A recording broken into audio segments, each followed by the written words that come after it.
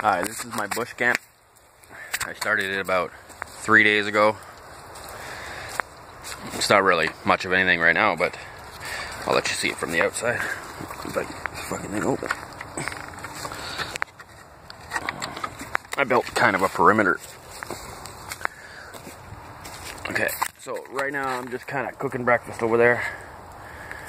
Uh, this is my my lean-to lean-to apparatus. I found some uh, some skids lying around in the woods, so I grabbed those.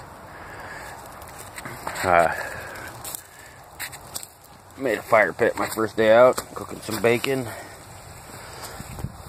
Not very far from my house. Uh, still constructing the back of my lean-to. Everybody can see the debris of leaves all piled up for insulation. I think I might actually come out here and camp out here one night, providing my wife allows it.